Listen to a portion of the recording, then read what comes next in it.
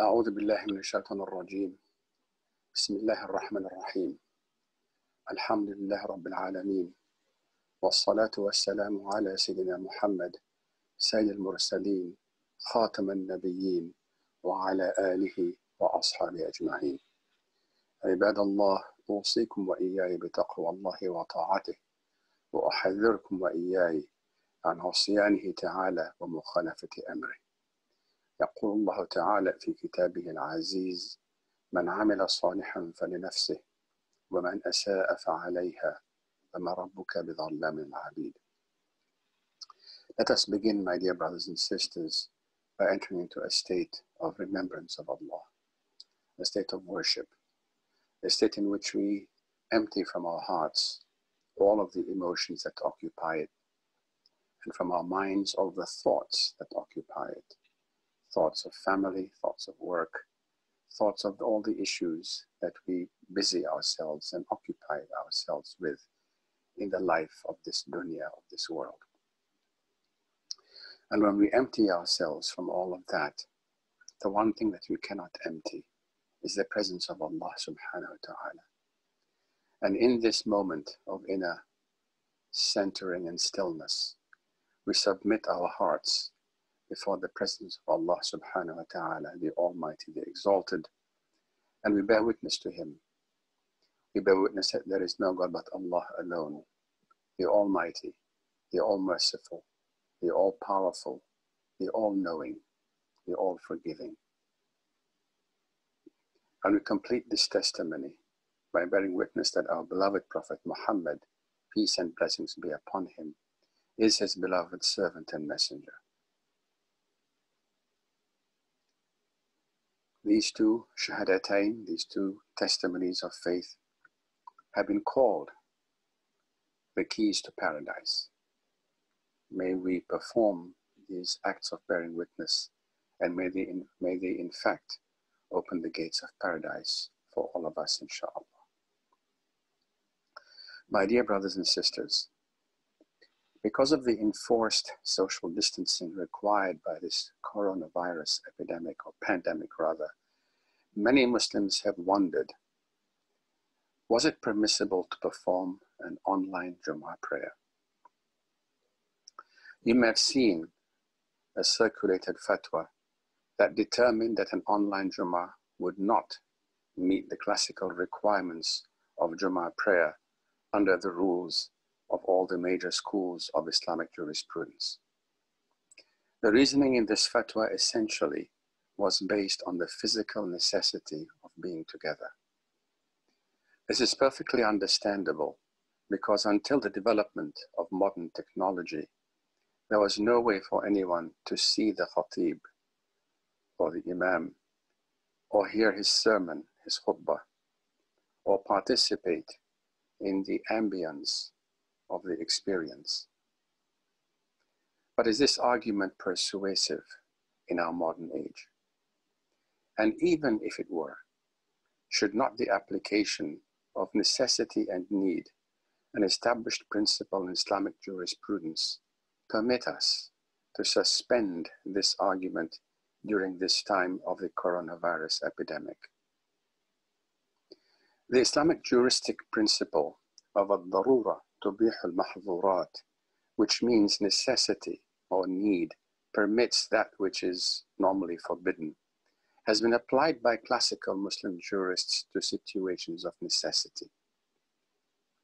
The classical example given is that if a Muslim suffers from a bad cold or a flu and needs to consume a medication like NyQuil that contains alcohol, it is deemed halal to consume that medication to the extent of the dosage and for the duration of the illness.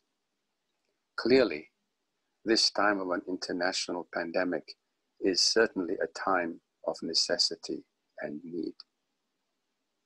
While the above will be sufficient justification for many of you, the rest of my khutbah today will be devoted to further and more fully explaining, amplifying, and unpacking our opinion as to why conducting an online Jummah prayer in our modern times, especially under these physically limiting social distancing circumstances of the coronavirus should be deemed valid. We arrive at this decision because we do not define our humanity merely or just or primarily physically. Our spiritual masters have taught us that we are, in addition to being physical beings, we are mental or intellectual beings, we are emotional or psychic beings that feel love, anger, hate, jealousy, etc. But we are most importantly spiritual beings. Our spiritual dimension is the primary and defining dimension, both of our humanity and of our religious imperatives. Our souls is where the creative breath of God within us lies. Your soul, my soul, is the locomotive of your life and your existence. Your soul, or nafs, is the eternal part of you. Your soul is the part of you that will be resurrected and judged. In Surah An-Nur, in Surah Yasin, and Surah Fussilat, Allah makes it clear that on Judgment Day, our hearing, our sight, our tongues, our hands, our legs, and even our skins will bear witness against us, against our souls. The Jummah is much more than a physical activity. It is primarily and fundamentally a spiritual activity. And to the extent that we can convey the spiritual dynamic online, this, in our judgment, validates the principle and justifies the idea of an online Jummah. The difference between a Jummah prayer and the normal congregational Dhuhr prayer is the reduction of the Salah from four rakats to two and the addition of a sermon, the khutbah, with a clear and definite emphasis on the khutbah. Allah alludes to this in the commandment for performing the Jummah in Surah Al-Jum'ah, wherein he says, يا أيها الذين آمنوا إذا نودي للصلاة من يوم الجمعة فاسعوا إلى ذكر الله. O you who have believed, when the call is made for the salah on the day of Friday or the day of congregation, because Jama'ah also means to congregate, hasten to the remembrance of Allah or strive to the remembrance of Allah. Fas'aw ila dhikrillah, not fas'aw ila salah. The language does not say fas'aw ila salah, hasten to the prayer or strive to the prayer, but it says hasten to the remembrance of God, suggesting thereby that it is the khutbah that provides the remembrance of God and is the differentiating focus of the Jummah. While it is true that Salah is also a form of remembering God, Allah Himself differentiates between Salah and Dhikrullah in Surah Al-Ankabut, where He says, إن الصلاة تنهى عن الفحشاء والمنكر ولذكر الله أكبر, which means in English, indeed, Salah erases indecency and unacceptable behavior, but surely the remembrance of Allah, dhikrullah, is akbar, is greater. Clearly then, the khutbah which differentiates the Jummah from a regular Dhuhr prayer, is intended to provide that vortex of divine remembrance that draws the congregation into remembering God.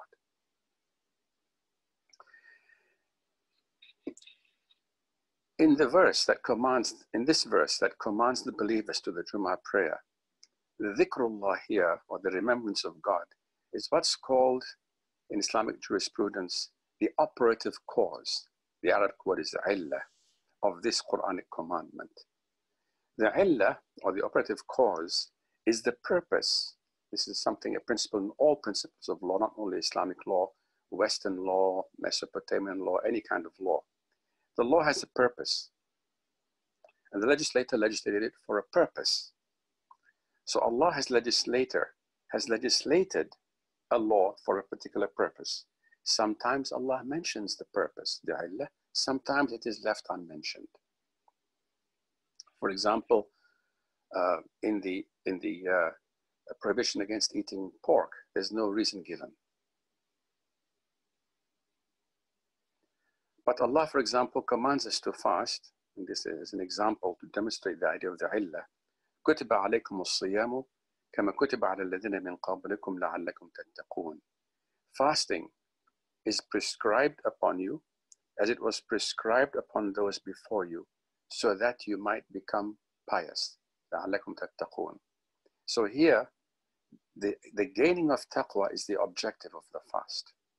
So if we fast, for example, and do not gain in any taqwa, our fasting, spiritually speaking, is useless. This explains the Prophet's hadith in which he said, Many a fasting person gains nothing from their fast but hunger and thirst. And many a person who does qiyam layl, the qiyam, the night prayer, gains nothing from their prayer but fatigue. These hadith point to the importance of the illah and, and, and emphasize the objective and the purpose for which we perform a particular rite. So analogously, while the Jum'ah prayer certainly has a physical dimension and effort to it, dhikrullah, the remembrance of God, is its operative cause. It is its illah in the Quran, in the Islamic jurisprudential phrasing. It is the purpose of the Jum'ah. Without remembrance of Allah, the Jum'ah is spiritually invalid. As the very first khatib, or the very first Jum'ah prayer, our Prophet Muhammad, sallallahu alayhi wasallam, whom the Prophet describes as a mudhakkir, meaning a person who reminds of Allah, powerfully drew his companions into a spiritual, into a spiritual vortex of divine remembrance. The evidence of this is in a hadith about a young man named Hanzala, who died in the Battle of Badr, the very first battle the Prophet had to fight. One day he was walking past by Abu Bakr, who greeted him and asked how he was. Hanzala responded by expressing his fear that he might have become a hypocrite, which was something that the Prophet's companions dreaded, especially as the Quran repeatedly underlines the importance of sincerity of faith, ikhlas, making their faith sincere, practicing their faith sincerely for Allah. When Abu Bakr, shocked to hear this, asked why he felt that way, Hanzala answered, Because when I'm in the presence of Rasulullah, when I'm in the presence of the Messenger of God, and he talks to us about Allah, about heaven, about hell, I feel like I can like I'm seeing that in front of my eyes. But when I return to my family and occupy myself with my work, I lose that feeling that I have in the Prophet's presence. Abu Bakr admitted that he too felt the same or experienced the same difference. So they both decided to approach the Prophet to ask him. When Hanzala repeated his plaint, the Prophet smiled and answered, Hanzala, if you can maintain that state that you experience in my presence, Indeed, the angels would greet you in your homes and in the streets, or you might say privately and in public. But the Prophet added, There are times and there are times. And he repeated this a total of three times. A prophet, by definition, is the locus of a powerful spiritual vortex. When he speaks of God and channels God's presence and power and God's arguments and God's words, he draws his audience spiritually, intellectually, emotionally, into that divine vortex of remembrance. The Prophet is our exemplar, our uswatun hasana, in how we perform our religious and spiritual rites. Imagine what it would have been like to listen to the Prophet himself deliver a sermon and to feel what Hanzala and the Prophet's companions felt. This function of drawing people's hearts and minds to the remembrance of Allah is what jurists, in my opinion, uh, have referred to somewhat inadequately as wa'z, which is a necessary component of the Jummah khutbah. But wa'z more accurately refers to warning the congregation about God and His justice. And its primary modus operandi is that it serves by invoking the fear of God and fear of His justice to prod us into piety. Dhikrullah functions in the opposite direction. It appeals to our desire to love God, our desire to, for His intimacy, and, his, and the feeling of togetherness with Allah, which Muslim scholars have called ma'iyatullah, meaning companionship of God, or literally togetherness with God. The purpose of remembering God, the purpose of the Jummah prayer, that is divine remembrance, is about precisely that, brothers and sisters. Is about generating in ourselves a deeper companionship with God, a deeper sense of ma'iyatullah, of togetherness with God, to remember God so that He remembers us, or in the words that He has commanded us, فَاذْكُرُونِي atkurkum." Remember me, Allah says, so that I in turn will remember you. This is what Hanzala and the companions felt in the Prophet's presence, and this is the purpose of the Jummah prayer. It's illah.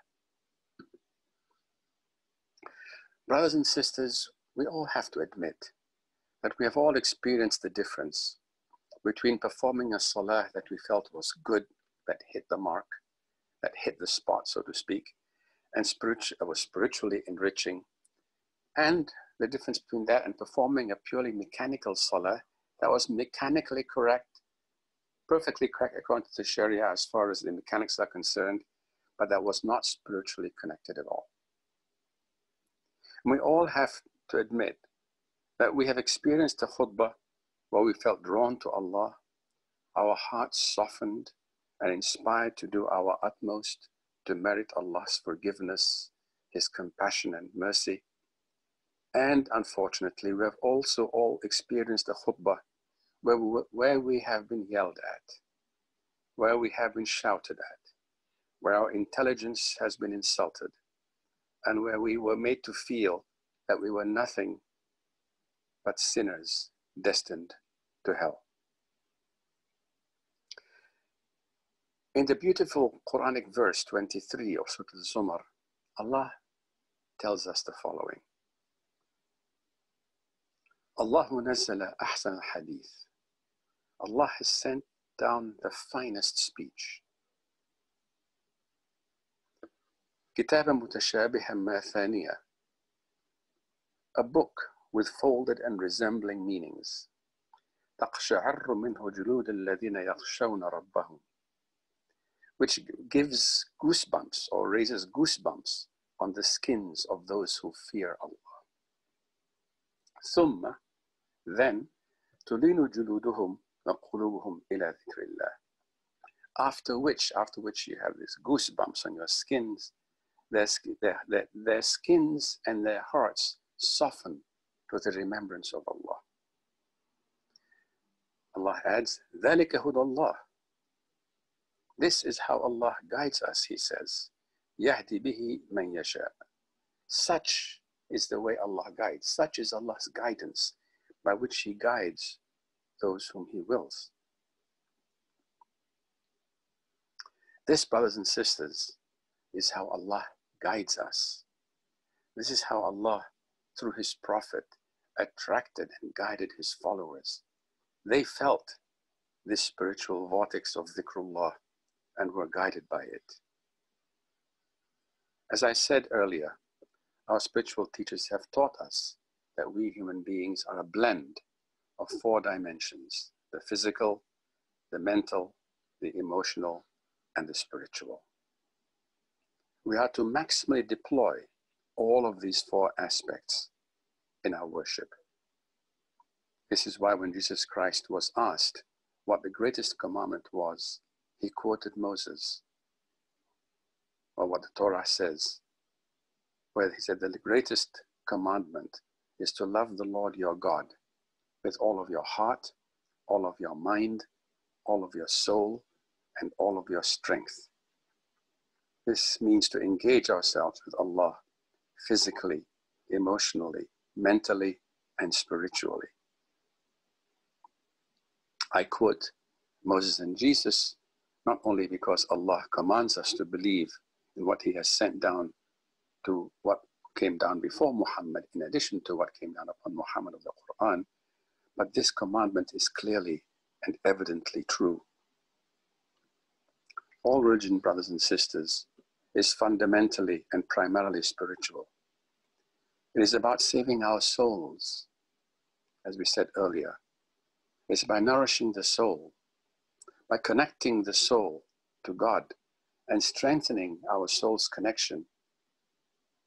As Jesus rhetorically asked, What does it profit a man to gain the whole world and lose his soul?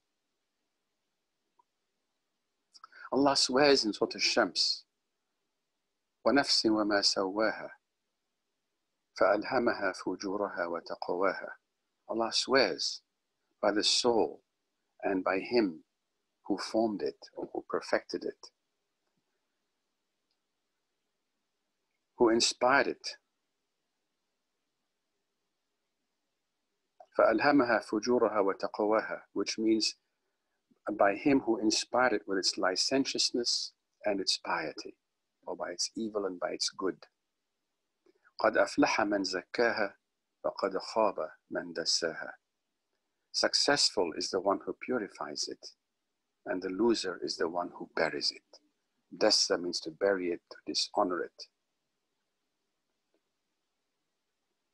Allah also asks in the Quran rhetorically, وَمَنْ يَرْغَبُ عن ملة إبراهيم إلا من سفه نفسه إلا من سفه نفسه and who is the one who turns away from the path or the exemplary path of Abraham except the one who dishonors his own soul Safih means to be stupid foolish to discredit dishonor to depreciate every act of good worship brothers and sisters is intended to appreciate, to purify, to raise up, to honor our souls, to heighten its value in the eyes of God.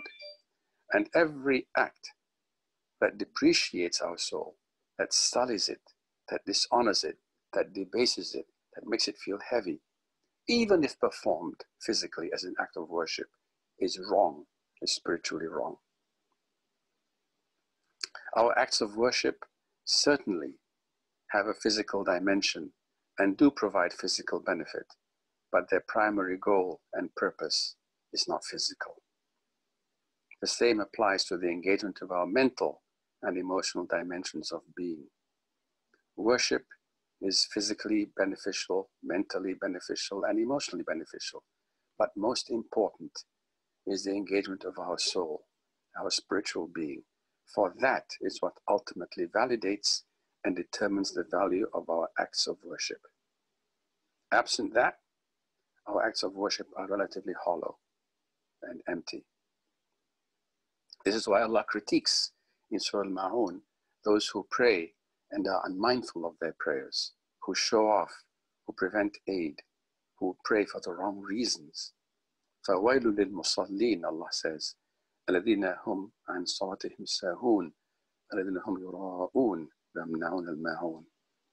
Physical presence and perfection of physical performance without spiritual presence, without spiritual correctness, without purity of intention, not only invalidates our prayers in Allah's eyes and judgment, it invokes Allah's anger. Our modern technology, Alhamdulillah, allows us to be spiritually together intellectually together and emotionally together, even though we may not be physically together. The precise opposite of what elicits God's anger is Ma'un. Why should it elicit Allah's disapproval as a valid Jummah? Moreover, the Prophet instructed us that when he has commanded us to do something, that we should perform it to the best that we can.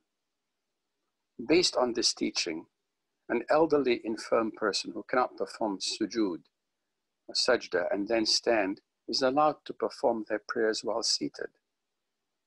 the imperfections and limitations of our physical capacity to perform the salah has no negative impact on its spiritual value. So, if the best of our capacity during this coronavirus pandemic is to perform Jummah online, should not the same argument apply? Another value of the Jummah is its creating of and sustaining a feeling of community. While the whole Ummah of Muhammad comprises one global community, we're at the same time members of sub communities within the global Ummah. Every such sub community, or to borrow a term from our Christian brethren, every parish, comprises a community that is bonded by a particular mosque and anchored and in and by its Jum'ah prayer. Islamic law indirectly recognizes and validates our sub-communities by the fact that the Jum'ah prayer is not an obligation upon a traveler, but upon those who are resident. The pandemic has heightened our sense of vulnerability. It has engendered in all faith communities a much greater sense of spiritual urgency. It has amplified our collective need to connect with Allah. Our sub communities feel a deeper spiritual hunger and desire to nourish their souls. They long to feel and sustain their sense of being part of a community under God and under His protection. A sense now frayed by the requirements of social distancing. We desire more fervently to respond to the Quranic commandment to hold fast to the rope of Allah. وَاعْتَصِمُوا بِحَبْلِ اللَّهِ جَمِيعًا وَلَا تَفَرَّقُوا To hold fast to the rope of Allah together, together, and not to separate. We feel the desire to clasp more, more, more fervently and more urgently to the rope of faith that He has sent down upon us and to aggregate and to congregate our prayers and to join them together. Finally, Allah says in the Hadith Qudsi that if we make one step towards Allah, He will respond with two steps towards us. If we approach Him walking, He would come to us jogging or running. Extending this hadith, my dear brothers and sisters, if we approach Allah online because we cannot do it physically, I'm willing to bet on Allah's mercy that Allah will accept our intention and will respond to it. For all actions are judged by their intention, as the Prophet said in the very first hadith quoted in Sahih al Bukhari's collection. So let us approach Allah, my dear brothers and sisters, as best as we can under these trying circumstances. Let us join our voices and our hearts and minds in supplicating and, and praying to Allah that He let us pass through this pandemic safely and to minimize the number of people who are uh, martyred by this pandemic. Let us approach Allah as best as we can, and may we trust in Allah to reciprocate our attempts at remembering Him. For as He has said, وَاذْكُرُونِي أَذْكُرْكُمْ Instead of withdrawing Allah's rope from our fellow Muslims, let us cast Allah's rope to, uh, to all who seek to clasp it. May Allah protect us and bless us all. My dear brothers and sisters, supplicate to Allah that He may answer us. ادعوا الله تعالى يستجب لي ولكم.